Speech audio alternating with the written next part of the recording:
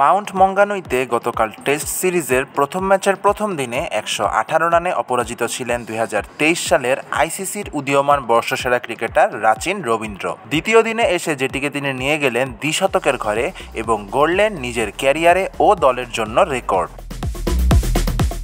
Test ক্যারিয়ারে এটি রাচিনিয়ার প্রথম সেঞ্চুরি। যে ইনিংসটিকে লম্বা করে তিনি ব্যক্তিগত রানের পারতটা নিয়ে গেছেন আরও অনেক উপরে। দেশের মাটিতে প্রোটিয়া বোলারদের নির্ভয় মোকাবেলা করতে থেকে তিনি খেলেছেন দুইশো চল্লিশ রানের দুর্দান্ত এক ইনিংস। প্রথম ইনিংসে নিউজিল্যান্ডের মোট সংগ্রহ পাঁচশো এগারো রান, যার প্রায় অর্ধেকটাই করেছেন রাচিন নিজেই।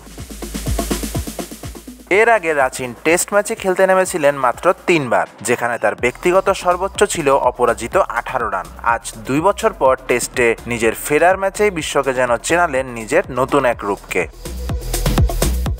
তিনশো চল্লিশ বল খরচ করে দুইশো রানের মাইল ফলকটি স্পর্শ করেন তরুণ এই ব্যাটার। নিউজিল্যান্ডের উনিশতম ক্রিকেটার হিসেবে টেস্টে দ্বিশতকের দেখা পেলেন রাচিন। এছাড়া দেশের মাটিতে ডাবল সেঞ্চুরির ইনিংস খেলা চোদ্দতম কিউই ব্যাটার তিনি।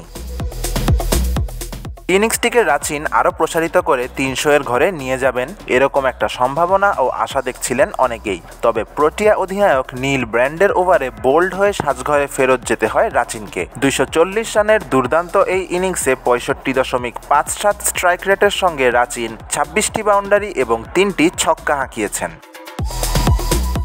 এই ইনিংসের মাধ্যমে রাঁচি নিজের নামে লিখেছেন আরও একটি অনন্য রেকর্ড। ক্যারিয়ারের প্রথম শতকটিকেই দুইশো এর ঘর পর্যন্ত টানতে পেরেছেন এর আগে মাত্র তিনজন কিউই ব্যাটার।